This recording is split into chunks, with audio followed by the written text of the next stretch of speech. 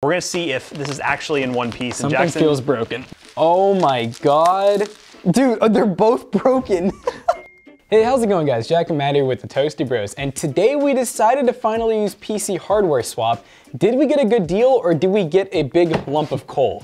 So we paid $620 shipped for this PC and the specs for the money is actually a really good deal, but did it actually show up in one piece? I kind of have my doubts right now. Before we dive into opening this thing up, let's hear a word from today's sponsor. Today's ad is brought to you by Accelerate Gaming powered by PNY and their Gaming Rev DDR4 RGB memory that comes in single modules and kits up to 32 gigabytes total. It's also built on high quality ICs that allows for easy and stable overclocking and complete RGB control via the most popular software suites out there like Asus Aura Sync and Gigabyte RGB Fusion to name a few. If you're building a new gaming PC or looking to upgrade upgrade your current rig, then you should check the link down below to learn more. And special thanks again to Accelerate Gaming powered by PNY for sponsoring today's ad.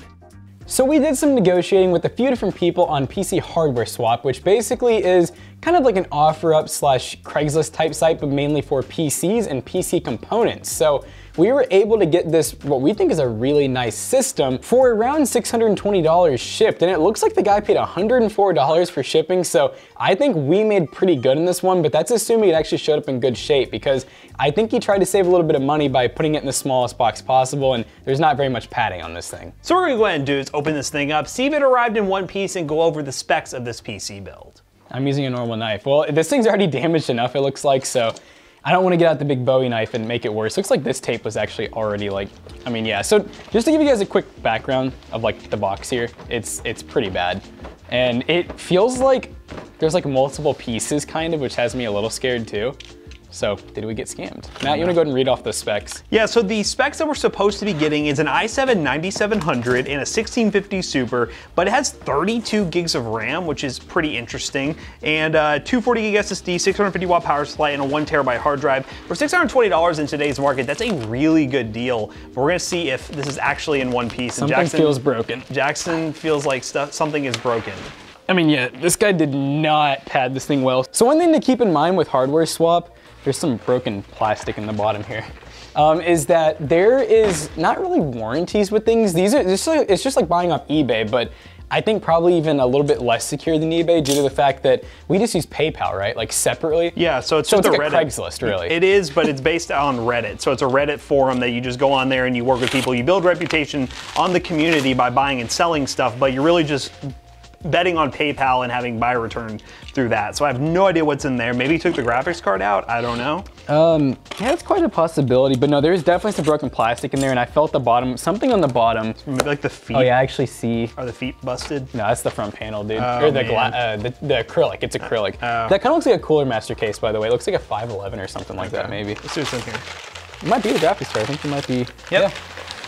Okay, so he was a little bit smart here. Uh, you know, trying to keep the everything cheap, like with a small box, he at least put the graphics card in its own box, and it's a little, a little, little, little wobbly, but it doesn't seem like anything's broken. This seems correct. So, yeah, we got a um, make sure 1650 OC 4 gigs. So yeah, it's just a normal 1650. Kind of weird, actually. It doesn't say super. It.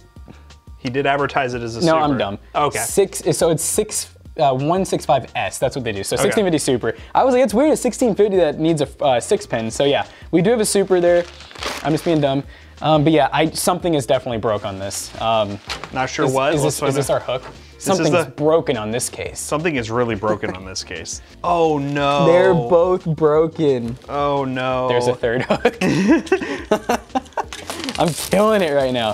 Right, yeah, um, this, this isn't looking too hot so far. See, we're only excited because you know you guys help pay the bills. So. It's content. I mean, yeah, it's content, but I'm also kind of bummed because I think this is honestly. I mean, the, the case itself isn't looking terrible. I mean, these are like some really cheap panels. That, okay, yeah, the case is actually. So we got like a little dent right here. Oh God, I did not even. Oh, okay. Oh, the, yeah. So, so that's this case is kind of the case done. is toast. Yeah, so um, it's gonna need a new case. Oh, okay. so we got we got this method here. All right. Um, it looks like our other panel is like sort of. Okay. Yep. Nope. And oh boy, what, what is this? Oh my, what just happened? Um, yeah. So that came out. Okay.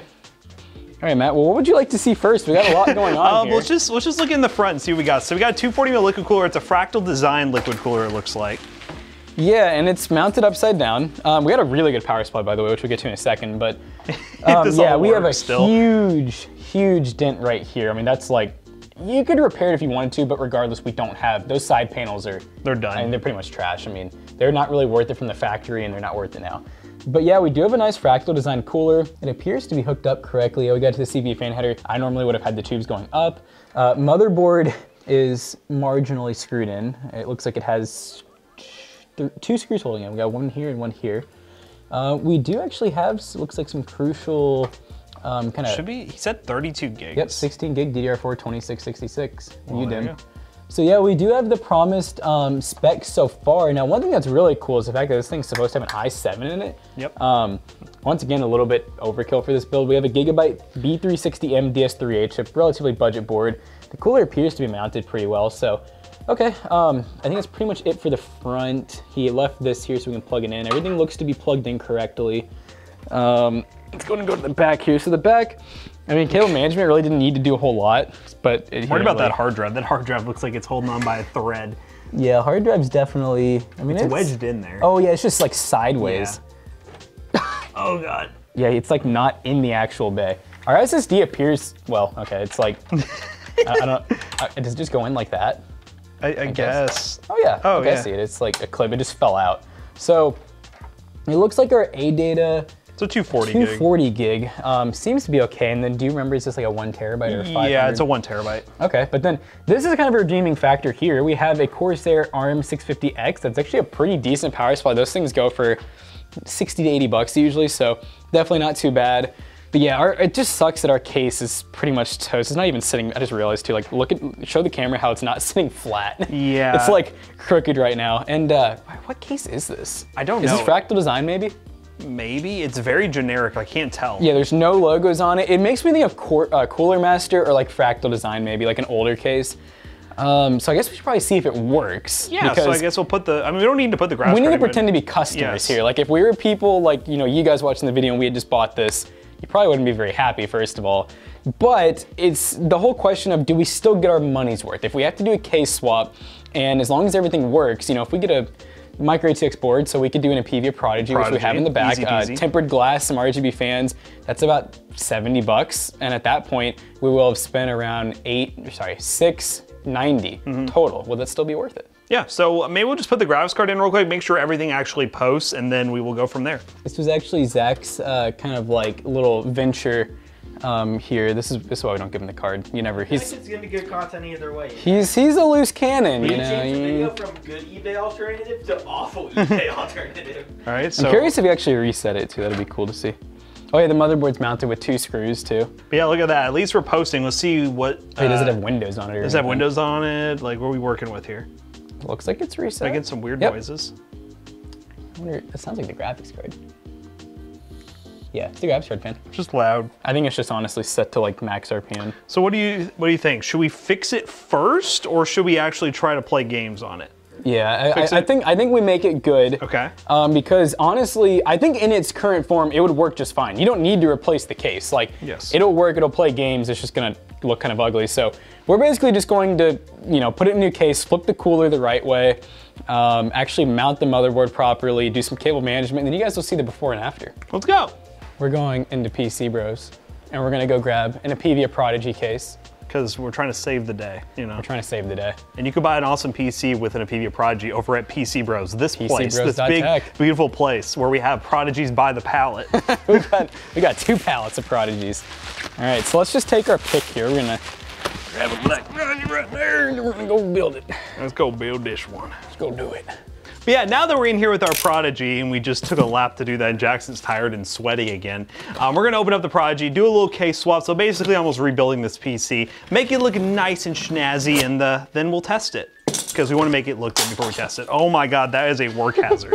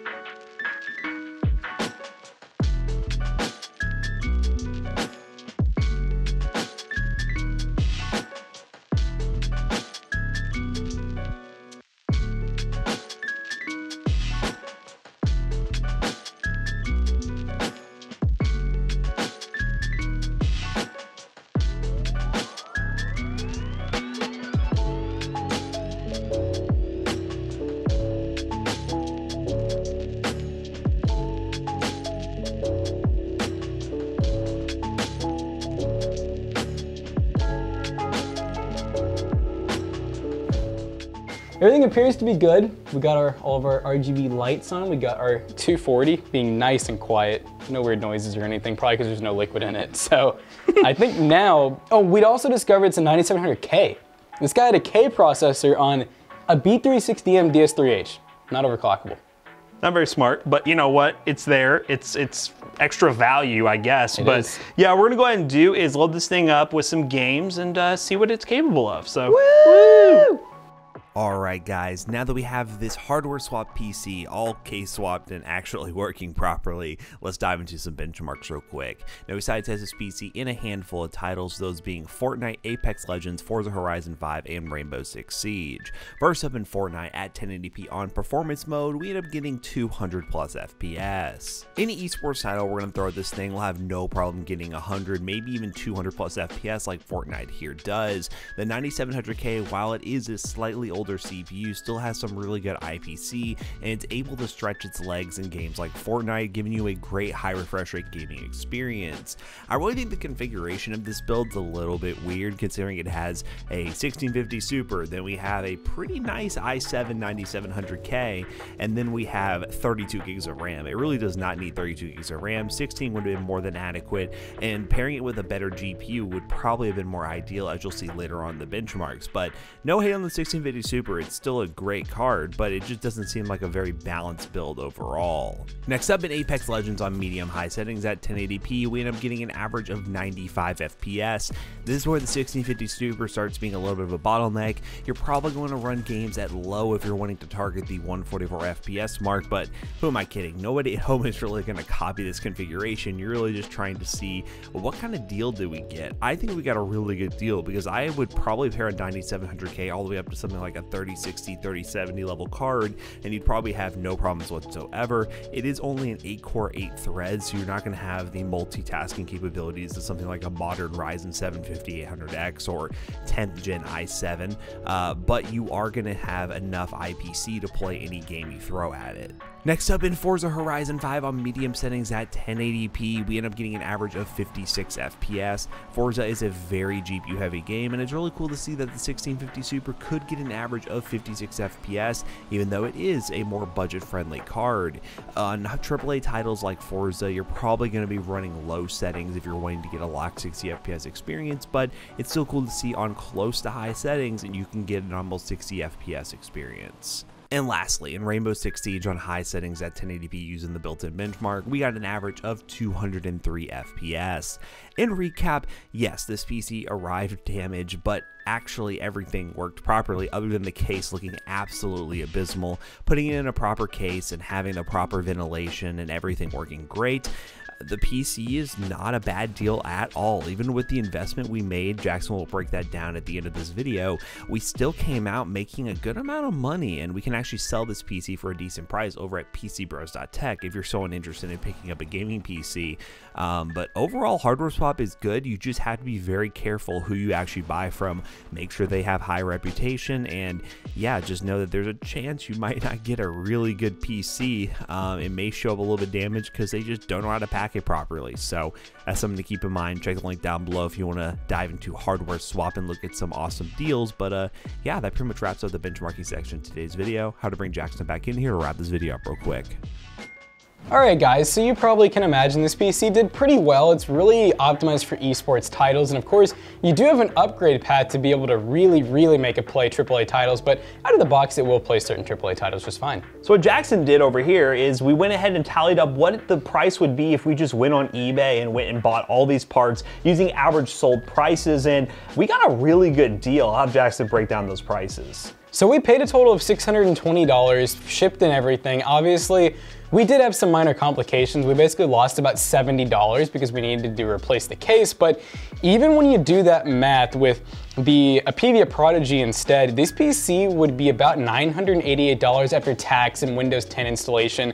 And this wasn't like insane prices, by the way, like Windows 10 Pro is $15. Really the most kind of insane thing about this was the i7 9700K does go for around 220 to 260 on eBay. We kind of went with the low prices even, so I did 220 for it and we still got $988 for us to build it ourselves. Of course, you might not go with this configuration. If you are building a PC from scratch on eBay, you probably get something new like a Ryzen CPU or something like that that would perform better around the same price. So do take those numbers with a grain of salt. But in terms of the value going on the used market, I think we got a pretty good deal. Just be very careful when you're buying from people on Hardware Swap because it is just an open community of a trusted system where you're just kind of like, yeah, I'm gonna trust that guy that he's gonna ship the PC properly to me. And sometimes it doesn't work out. But if you want to check out Hardware Swap, we'll leave a link down below so you can browse some of the awesome deals that they have. It was a cool experience to see that we could get a full PC at a really good price from that subreddit. So as always, we hope you guys enjoyed today's video. If you did, check out our other two YouTube channels and also our twitch.tv slash toastybros. And do not forget to like, comment, and subscribe. And we'll see you guys in the next one. Goodbye.